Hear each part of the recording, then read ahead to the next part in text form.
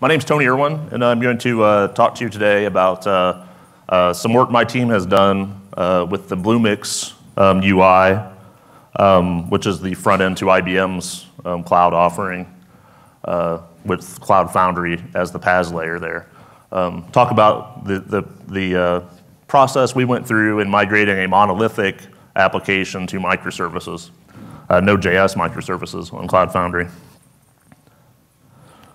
Um, and during this talk, we'll talk about the origins of the Bluemix UI, um, some of the demons of the monolith, um, our original monolithic architecture, um, how microservices helped um, slay those demons, and then uh, um, sometimes you trade one sets of set of problems for another, so we have some new demons uh, to slay as well. so as I sort of alluded to, the, the Bluemix UI serves as the front end to Bluemix. Um, it lets users uh, create, view, and manage uh, Cloud Foundry resources. Um, but not just Cloud Foundry, we also have containers and virtual servers and, and other resource types um, coming around. So when we first started Bluemix, some of you may know it was pretty Cloud Foundry focused. Now Cloud Foundry is just a part of our Bluemix offering. Um, it runs on top of the Bluemix PaaS layer, which is Cloud Foundry. Um, as I alluded to, it started as a monolithic app. It was a single page application. Um, so all the HTML, CSS, JavaScript um, was served, yeah, had to be loaded to the page at once, basically, um, in one HTML page. And this was all served um, by a single Java app, which was also deployed to Cloud Foundry. Um, this was a common stack in IBM not all that long ago where everyone was using um, uh, Do the Dojo JavaScript framework for the UI piece and serving it with Java. Um, so that was very popular in IBM. Um, in recent years, uh, we've started moving to other uh, stacks. Um, and this is just sort of a uh, screen that shows that the Bluemix UI is pretty large. There's, you know, this is five or six different pages there for dashboard, catalog, um, resource details like manager, Cloud Foundry apps, users, billing, and there's a whole lot more. So it's a large um, application. And this was this is sort of a diagram, or it is a diagram, not sort of a diagram, of the monolithic architecture that we started with. The, the top, where it says Bluemix UI or client, is basically the web browser, and the orange boxes there you know, roughly correspond to the pages I showed on the previous uh, slide. Um, but that's just to show, that's really just all the JavaScript logic is out on uh, the browser essentially in our single page app. And then on the back end, the Cloud Foundry side, um, we've got a single UI server, which is Java. Um, it was bound to a DB2 service um, for some of the data persistence we had to do. And you know, basically that passed through then to a whole lot of back-end APIs, you know, including Cloud Foundry uh, the Cloud Foundry Cloud Controller, um, UAA, et cetera. So the monolith had some problems, or this architecture had some problems. Um, we had performance issues. Um, he the heavyweight, Dojo is a rather large library, and we also wrote a lot of JavaScript to do all the logic on the client. Um, so heavyweight JavaScript loaded to the browser um, can be slow. And also in a single page app, if you know a number of you have probably worked on them, you're relying totally on AJAX calls back from the, the client. So that can also create um, some bottlenecks. Because really nothing is in your initial payload except for um, the, the code that loads your, your uh, front end. There's nothing about the data that you actually want to see. Um, another problem was it's very difficult to integrate code um, from other teams. So as we'll talk more about here in a bit. With, you know, there's probably 15, and the list is growing, other teams that want to plug in to our UI, and so we all look like kind of one big product. Um, with the stack we had, that was really not a practical. Um, you know, you have to tell people to write Dojo. We had fewer people and fewer groups that wanted to write Dojo, for one thing. Um, and it's just not that easy to integrate these sorts of plugins into a single page app. Um, you have to push the whole prod product just for small changes. So you know, I fix a null pointer exception, I have to redeploy um, the whole product um, as opposed to just being able to deploy a, a part of it. Um, poor SEO, search engine optimization. Um, because as I alluded to, there's not a whole lot of, of content in the one HTML page that was served. Um, there wasn't much that was crawlable uh, by Google uh, and other search engines. And new hires wanted nothing to do with Dojo as we uh, brought on some new front end developers. Um, they're like, why are you guys using Dojo? There's better stuff for, or, you know, if you've been in UI development, you know, there's always, you know, every six months there's a, there's a new uh, cool toy. Um, Dojo had a lot of good things about it, but it was also kind of viewed as, as legacy, you know, old, old IBM kind of stuff. So now we'll get a bit into the uh, microservices architecture that we uh, migrated to. Um, and I call this slide the weapons of microservices that we used to slay those demons from the previous um, page. Um, but it, the, the approach helped us to migrate to a more modern, lighter weight stack you know, based on Node.js and other tools um, without starting over. So we were able to um, keep, this was also in a live running product that people were using, and we couldn't just suddenly throw away all the stuff we had um, during this re-architecture, but with the microservices, we were allowed to slowly break pieces of the monolith apart while still leaving the core of the monolithic app there. And I'll show a diagram of that here in a bit. Um, the goal is to break the monolith into smaller services um, to improve performance, because these services would be op optimized for speed and page size. Um, this architecture, we believed, would increase developer productivity.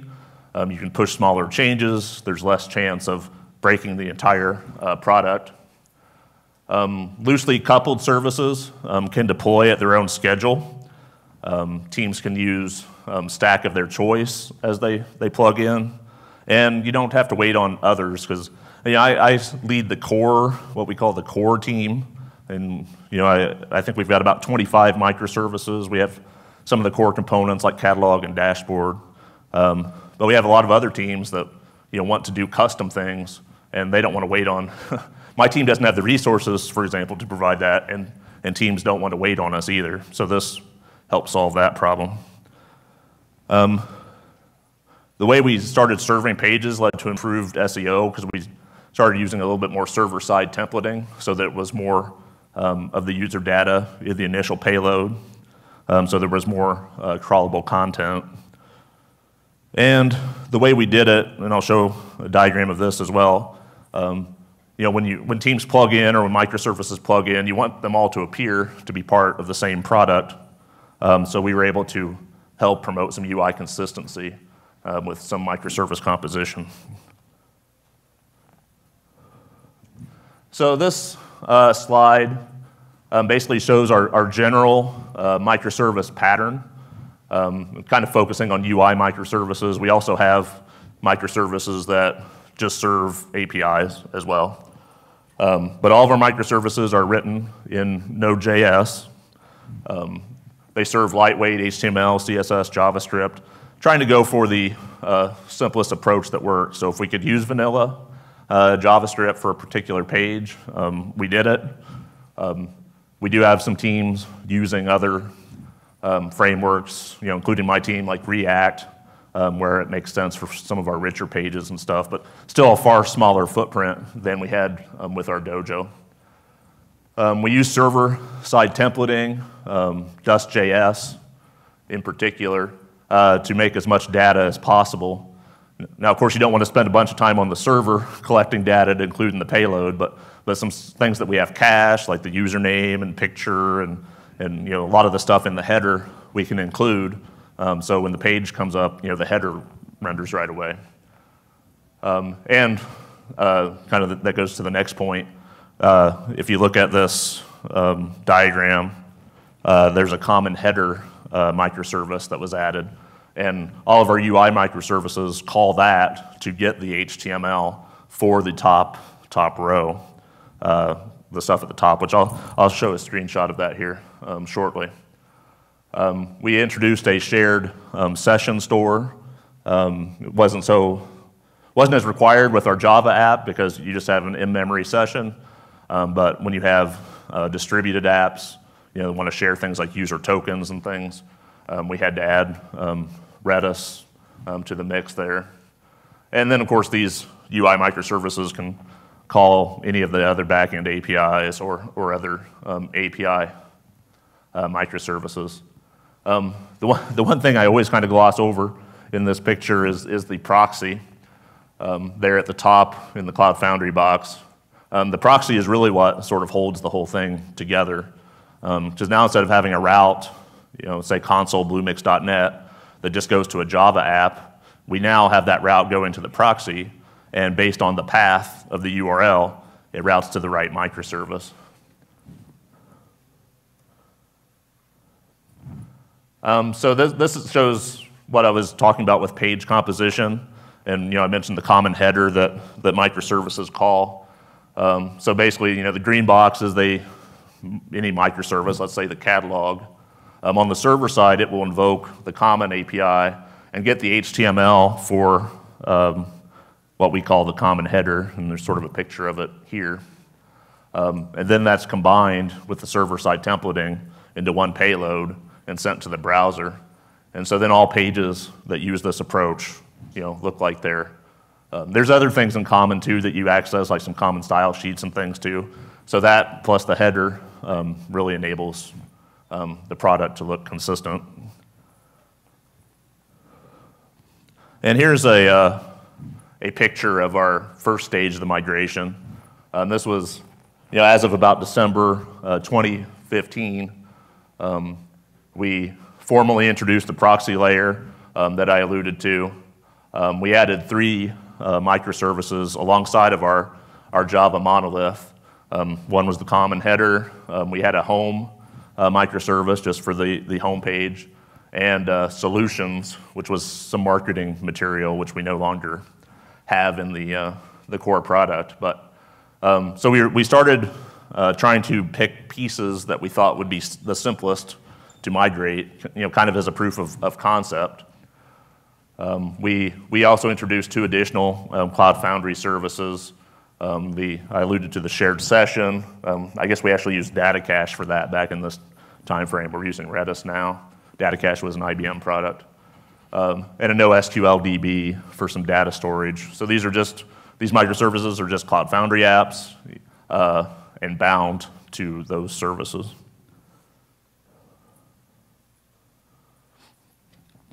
Um, phase two, um, you know, basically I'm just showing uh, more boxes moved from the top uh, browser uh, side of the uh, product and down into the Cloud Foundry. Uh, at this point, you know, which is about a year after uh, the, the, slide, the previous slide, um, we were probably about 90% complete. We still had some account, you know, user management and things um, that we're not migrated yet to the new architecture. And then, you know, this is our end goal, um, which we're more or less at today. Um, except we do still have our Java server. We do want to port that. It's working fine for us. I think we do want to still port it to, to Node before we're done. Um, and we do still have a small amount of legacy uh, Dojo code. So, so it was a, you know, we had to balance um, new function over re-architecture. So, you know, over about two years, we were able to do a pretty uh, complete migration of the original uh, product while, you know, adding some new function and things like that. Uh, th this slide I alluded to earlier. Um, we have a bunch of other teams um, that want to uh, plug in. I, the, the uh, uh, the, the, what I've been showing are really the core microservices, the core pieces of the architecture that, that my team owns. Um, but we have things like you know, Watson, Internet of Things, um, our new Kubernetes service, OpenWhisk, um, that want to be uh, part of the console, um, but not necessarily deployed with all of the core microservices or owned by my core team. And this just kind of shows that the proxy, so we have proxy rules for like slash Watson, that will route to a uh, server owned by the Watson team that could be deployed, deployed everywhere, anywhere. Um, we proxy through, they can use our common header and you know, look like all part of the same, same product. And I might do a, well, I guess I don't have the, uh, I was going to do a demo. Um, uh, switched uh, to a, a new uh, PC, thank you, just before, uh, before this. I don't think I'm going to try to fire up the browser and log in and stuff, but um, what, what I really wanted to show is that you know, if, if, as you're clicking on different pieces of the UI, uh, you'll, you'll seamlessly go to stuff owned by other teams. Um, you'll just see the path and the URL change. The proxy you know, routes the, the request appropriately, and uh, it all kind of blends together. Um, so there are a number of, of new challenges. Um, as I mentioned earlier, sometimes you trade one set of uh, problems for another. Um, I think you know we're glad we did it, but there were other things we had to worry about now. Um, there's more, uh, more moving parts, more complexity. Um, it makes your, your build pipeline and test automation and all those things you know, all the more important. I think we probably underestimated that uh, when we started down this path. Um, collecting uh, federated status, monitoring the health of the system. Uh, something goes wrong at 2 a.m., uh, you know, the console is not rendering, you know, which of our microservices is a problem, or, you know, and, and sometimes it's, you know, outside of our control, like the Cloud Foundry environment we've uh, been deployed to has problems. Um, so we needed a way to monitor those um, aspects of health and to kind of, you know, we're all responsible for reliability and, and HA and everything, but uh, sometimes, you know, just to get past a particular problem, um, you need to find the right team to actually get looking at, at the issue. Um, so we quickly developed some monitoring tools to help, you know, point um, uh, the problem at the right team. Now, sometimes it was my team too, but uh, not always. Uh, the granularity of microservices and, and memory allocation. Um, talked, the, the previous talk mentioned, you know, 512 megabyte uh, for, is good for a for Node.js app. Um, when we had the monolith, you know, we had three or four instances at, at two gigabytes apiece for Java, and so that's about six gigabytes total. If you have, you know, about 27 microservices with you know, three or four or five instances apiece. I think at one point we had about 95 total instances. They're all at 512 megabyte or, or even a little bit higher in some cases.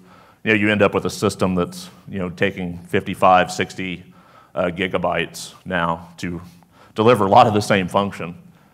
Um, not as big of a deal for our public offerings, but we also do deploy um, into uh, some customers' local and dedicated environments and they not, not necessarily happy about paying uh, for a lot of memory uh, just to run the console. So that's uh, you know a consideration.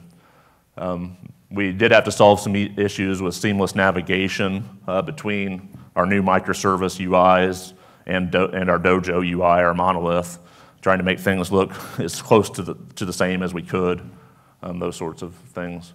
Uh, blue-green deployments, you know, one, one question it's one thing to do a blue-green deployment of a single app, but if you have 25 apps, uh, how do you do that? Um, we ended up having an on-deck, basically, version and a production version of the apps. So all the so we had two versions of all the microservices deployed, and we would do a blue-green uh, swap on the proxy for each of those. And so basically, you're sending, setting up a whole new. You're suddenly routing to a whole new set of microservices we want to be more granular. With, something we're still working on in our pipeline is to be uh, more granular than that and do blue-green swaps at the individual uh, microservice level. Um, this a big problem is promoting uniformity and consistency um, while still giving teams uh, freedom. Um, so we have uh, we have a large set of UI designers in IBM, and there's different UI designers um, applied to the different teams.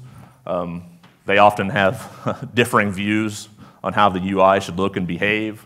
Um, so you want to give people, let their imaginations go and, and uh, you know, come up with you know, innovative UIs, but then you run the risk of having you know, half the UI looking and behaving one way and you know, other pieces a totally different way. Um, so that's you know, still an ongoing challenge uh, for us. Um, another point I threw in here, and I, I, guess I've got another slide on it too to go in a little bit more detail. Um, you know, we did this work um, to be microservice based within one uh, deployment of Cloud Foundry, and you know, a lot of, of resiliency and HA work as part of that. Um, but then how do you go and make that more globally um, available? And I'll just go ahead and go to the next, well, I'll get to that in a second. Um, I did want to uh, drill down into the importance of monitoring. Um, I alluded to that we kind of underestimated um, uh, how important monitoring was when we first deployed our first two or three microservices. So as we deployed more and more, this became all the more important. Um, you know, lots of things can go wrong when you have this many uh, components, and you know, root cause determination can be difficult. So uh, we did a lot of work to uh, start collecting metrics on every inbound and outbound request um, for every microservice uh, with response times and error codes and you know, as much detail as we could get. And we can look at those things in Grafana, uh, which there's a little screenshot here at the bottom. And in fact, I have a talk tomorrow that's going to go even deeper into all this if, if you're interested. Um, we were very interested in memory usage, CPU usage, um, and uptime, uh, crashes um, for all of our microservices. Um, so, so now our monitoring is set up so if an app crashes, for example, um, we send an alert to the appropriate people. Um, general health of ourselves and our uh, dependencies. Um, for example, if we can't get to our Redis server, we can't share the token and you know, people can't really authenticate and do what they need to do in the UI. Um, so that's part of the, the health we have to keep monitoring. And we also do work where we have uh, synthetic uh, page loads. So we uh, run site speed IO scripts um, uh, regularly in the background. Um, so we can always see how uh, certain pages are performing and from different parts of the world. Now back to the global load balancing. Um, so we've got four, currently have four public regions of Bluemix, um, Dallas, London, Frankfurt, and Sydney. And we've got all these microservices uh, deployed in each one. And each one of those has its own uh, URL. Uh, you know, it's console.region.bluemix.net. Um, so as I mentioned, you know, we, we wanted to do some more HA work here because, you know, if one region goes down, um, you know, maybe there's a problem with Cloud Foundry, which could never happen, I suppose, right? Um, or there's a networking problem or, or some other thing. Uh, users going directly to a regional URL are going to say, well, this thing doesn't work. You know, they see errors and white pages and, and all this stuff. Um, so what we're currently rolling out, we call Global Console. So basically, we're starting to distribute uh, the load over the microservice systems in all of our uh, region. So we have one global, we'll have one global URL, which is actually live today, um, consolebluemix.net. Um, and there, we did have a region concept of a region switcher even in the old model, but it would totally switch URLs to the deployment in the other region. Now it just really does a filter within um, the current. Uh, so wherever the UI is being served from, you're doing a filter within that. Uh, we're using Dyn uh, geo load balancing so that uh, whichever of our regions is closest to you when you go to the browser is where you'll get the UI um, served from. Um, so if you're in New Zealand, you would probably get routed to our um, Sydney, Australia um, console. And the, the other thing that's, you know, I kind of alluded to monitoring and health checks and stuff, we've gotten our health check to the point now where uh, you know Dyn consults it in the different regions. If, if a region is uh, considered down uh, by our health check, then Dyn will stop routing there for a bit until it's healthy again. Um, so in this way, you know, hopefully the user never sees, you know, what, what looks like a full outage. There may be, uh, you know, they may not be able to manage their Dallas CF resources at any time, at any given time, but they could still manage their uh, Kubernetes clusters and stuff because the UI, they still have a UI that works and is able to talk to the appropriate backend APIs you know, across the world. And that takes me uh, to the end. Any, I see I already have a question.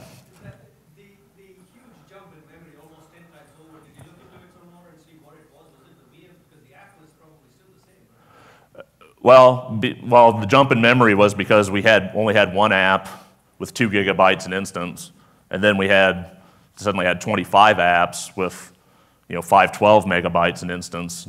And even if you just do the do the math, that's a lot more memory. Now we have looked at uh, you know some of our microservices were probably allocated more memory than they needed, and we've you know we've cut some of that stuff back over time. Um, you know sometimes uh, if the, if the microservice isn't doing much, you know, 256 or even 128 uh, may work. Um, but we were never able to cut it all the way down to uh, the uh, memory usage of one app. To that point, uh, the grand scheme of things, are the cost material? Memory costs are It's, it's not so material to our public deployments. Um, more so when we deploy onto a customer's hardware and they're like, well, why do we have to pay extra for this? But you know, I do get to see uh, you know, obviously my team is not paying uh, uh, for the use of the, of the Cloud Foundry resources, um, but uh, I do get to see what we would be billed if, uh, if we did have to pay, and it does add up. I mean, so certainly if you're a, you know, not lucky enough to be able to work at IBM and deploy on IBM resources, if you need to use 55 gigabytes uh, for your microservice system, there, there's going to be some cost involved there. I think no matter which Cloud Foundry provider you use, you'd have to pay, pay more for that. Question here. So on your global load balancing, how did you keep the different regions in sync? Different versions? Or different regions in sync, you know, oh yeah, so, well that's a good question because we, uh, uh, we, we do try when we roll out a new, I mentioned we have an on deck and a, and a production set of microservices in each of our regions. We do typically upgrade them at the same, roughly the same time. So we'll usually upgrade like Sydney and then Frankfurt and then London and then Dallas. But there's certainly times there where they're not exactly the same version. Um, so I think it's, uh, uh, in general, we're, uh, it doesn't hurt us too bad yet because you know, you're, if you're getting your UI from Sydney and it's not exactly the same version as Dallas, at least the Sydney stuff is going to work with whatever APIs and, and such are there. Um, it may not quite have a new uh, function um, that we've deployed to Frankfurt, so there could be you know a half hour where you know a user being routed to Sydney won't see the same thing that they saw in Frankfurt exactly. Um, but uh, it hasn't been a huge issue for us yet. But if we do a do a major upgrade of uh, of uh, like our theming and stuff at some point, I th- we'll probably have to think about that a little bit harder because, you know, you, if you get routed to Sydney and you see, you know, green and orange and whatever, and then maybe you fail over to Dallas and you see the old style, um, that might be a bit, bit jarring. Uh, also, we're in the process of doing something very similar. Okay. So what, what suggestions or tips would you give us based on your experience? Um, so we've had pretty good luck with, with Dyn um, for this. Um, we actually have a little bit of a weird situation because we're, um, we're using Akamai uh, for our CDN and uh, WAF DDoS and such. So we really have a combination of, of Akamai and Dyn, um, which is a little bit weird.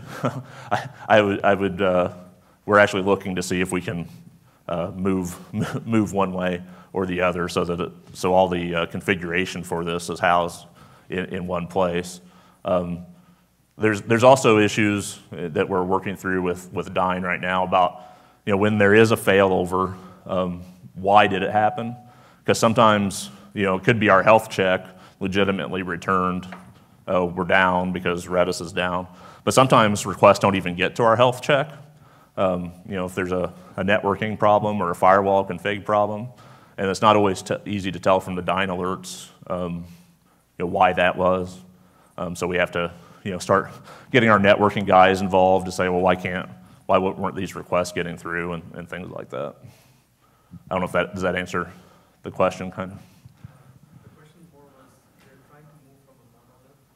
Oh, I'm sorry. I thought you were trying to move to a global, global load balancing. I'm sorry. Oh, so, okay, so tips on, okay. Uh, Now I understand the question. So tips on moving from a mon- monolith to, a, to microservices. Yeah, so that's, yeah, I think I've got a lot of those. Um, Tony? Probably not enough time, but, uh, Yeah, I wonder if we could let people go to lunch, and anyone who's Okay. still interested could come up to the front and talk to Tony. okay. Thank you very much, Tony. Thank you. Yep.